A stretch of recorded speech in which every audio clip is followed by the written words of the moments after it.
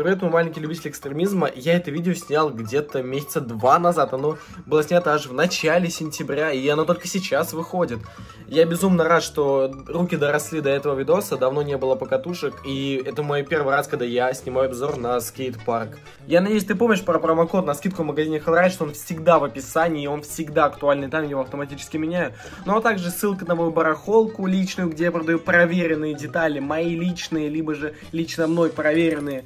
Вот такого просто качества, и зачастую почти новые, потому что мне так интереснее. Короче, также там есть мой ВК, вообще все на свете там есть, вот. Подписывайтесь. Короче, добрый вечер, в смысле утро. Я не знаю, когда вы смотрите это видео, но у нас построили новую плазу, и сегодня, по идее, должен быть то ли контест, то ли что, но... И, по крайней мере, я точно сниму обзор на эту плазу. Спартак Плаза называется она. Находится она в городе Звенигород. Можете приехать сюда покататься. Вот. Офигенно классная, красивая плаза. Насчет качества исполнения мы еще смотри, не смотрели близко. Короче, смотрите дальше.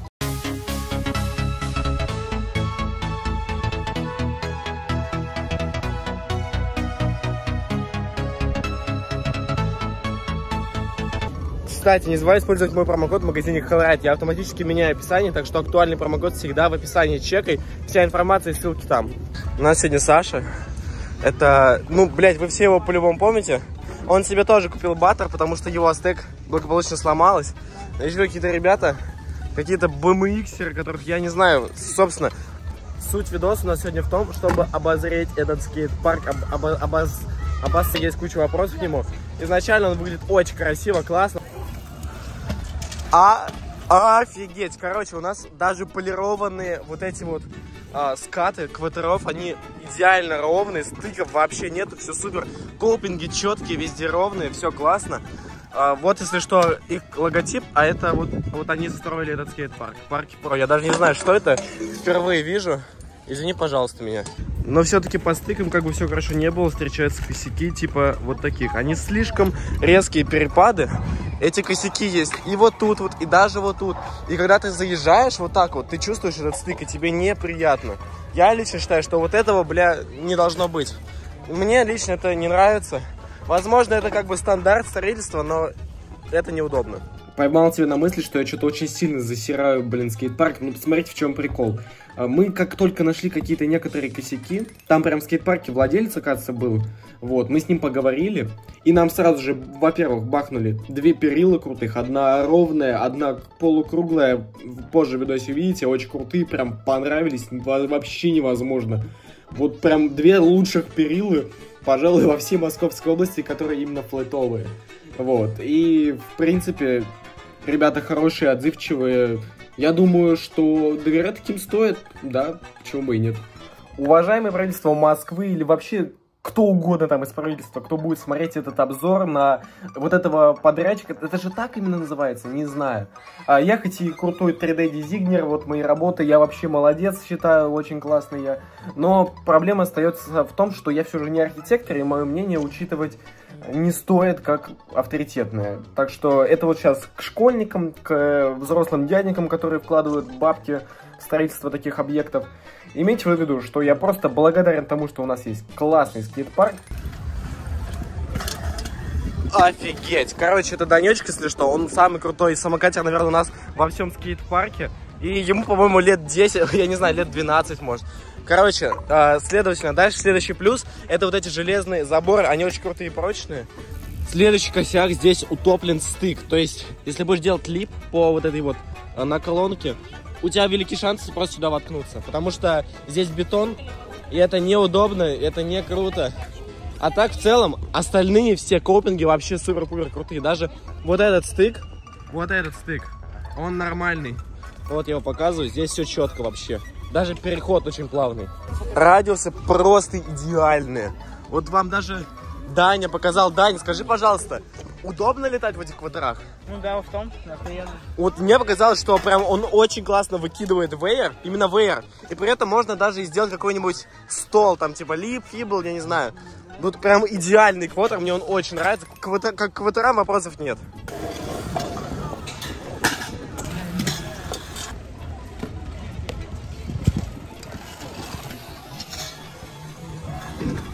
Охуеть! Сейчас сделаем. Просто уйди туда, пожалуйста. Мы катаемся в этой плазе уже около часа. Вот эта вот, она крайне бессмысленная, она очень резкая. Как только ты пытаешься на нее заехать, ты вот так втыкаешься, втыкаешься. И в теории отсюда можно даже было бы вылететь вон сюда, в плоскость. Типа вот так вот, бым, и все. Но из-за вот этого стыка дебильного, из-за того, что она короткая и очень резкая, ты не можешь долететь до туда. В этом вся проблема. Мне очень нравятся уголки подобного типа, но я не могу на ним делать трюки. И мне это очень расстраивает. Вот эта вот штука очень сильно понравилась. Здесь можно делать какие-нибудь трюки. Прям вот очень классно вылетать сюда, приземляться, не больно, не страшно. И что говоришь? Хлеб крутой, я на него подписан. Красава. Копинги вообще супер, мне прям понравились. Они вообще идеально ровные. Короче, на них поскользить, на них делать столы. Прям одно удовольствие, прям честно скажу. Повторяю десятый раз уже, квадра здесь лучше, чем в каком-либо парке. Да. По ровности вообще вопросов нет. Даже в Ураме я катался, там были небольшие волны на больших квадрах. Здесь большой квотер ровнее, чем любой, наверное, квотер в нашей стране. Перилы очень прикольные, но они низкие. Они вот буквально сантиметров 30 от земли. Здесь еще меньше. Меня это не устраивает. Я хочу скорее на перилах выше. Особенно вот под таким углом. Ты на нее фиг запрыгнешь, когда едешь вот так вот и хочешь ее взять вверх. Возникают проблемы.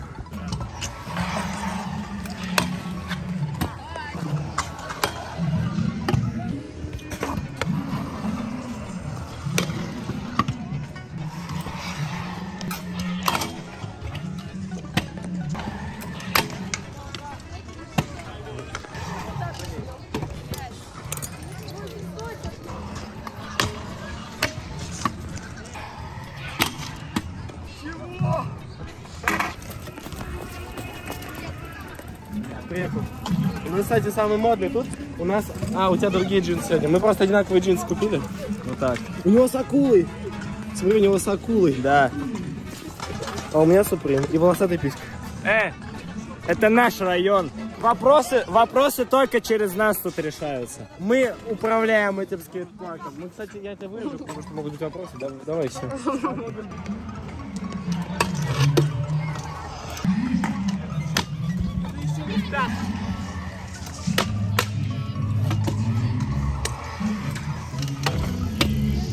Это вообще какой-то бокс-недобокс, который уходит вот так вот вниз. Что ты говоришь? Я обзор на парк снимаю. Короче, на нем не поскользить, ничего, я, я даже не знаю, зачем он тут нужен. Я больше чем уверен, на нем все будут сидеть. И на нем, кстати говоря, уже все сидят. Еще у тех, кто делает этот проект, наблюдается явная биполярка. Гладкий стык, не гладкий стык, снова не гладкий стык, очень острый, снова острый. Тут точно так же.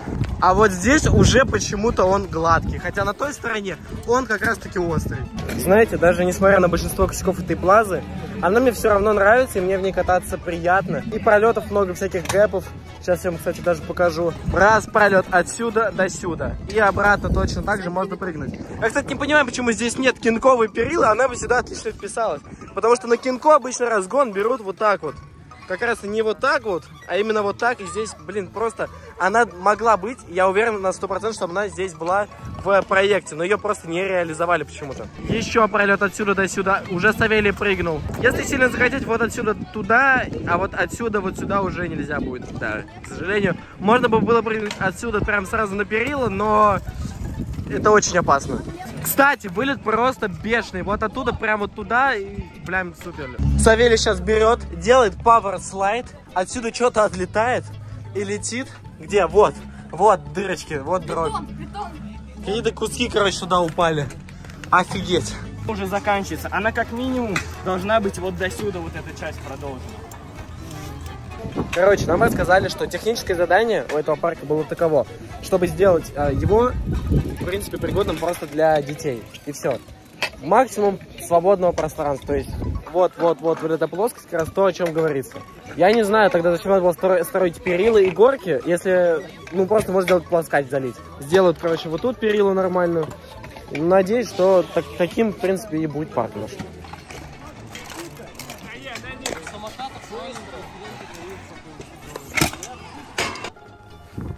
Э, у нас уже прошла ровная неделя с момента открытия. Поставили, короче, правила, информации и так далее. супер важная вещь. И все, что здесь написано, мне это нравится. Это классно. Спасибо большое. Э, Будет куда потыкать всяких э, мам и пап, которые ну, просто мешают процессу катания и все. Это, это вообще великолепно. Вот так вот. Собственно, вот те самые перила, о которых я говорил. Вот закругленные, и еще есть одна прямая потрясающая. Квотера, насчет квотеров. Я очень сильно боюсь сделать брайв скат, но здесь мне не страшно приземляться, потому что я знаю, что квотер меня поймает.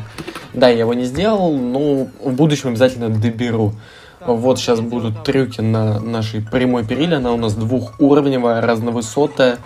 А, По-моему, где-то 40 сантиметров высота первой высокой. И нижняя, по-моему, 20. Если я ничего не путаю. Я утверждал эти самые перилы, мне именно писали по поводу них. э, Спрашивали, какие они должны быть. И получается, по факту, вот мы с Савелием как раз-таки и определили будущее нашего скейт-парка. Очень понравилось. Спасибо большое дяденькам, которые нам это все сделали. Спасибо большое за скейт-парк. Э, Нам на самом деле очень приятно э, вот за такой подгон. Мы долго-долго-долго хотели большую какую-нибудь крутую красивую плазу, чтобы нам не ездить в Москву. Просто в Москву ездить, ну, очень далеко. Получается, там часа два надо минимум, чтобы добраться до какого-нибудь крутого парка и покататься. Ну, вот, к примеру, ЦСКА. Здесь же уже где-то минут 15 надо мне ехать на самокате, на обычном.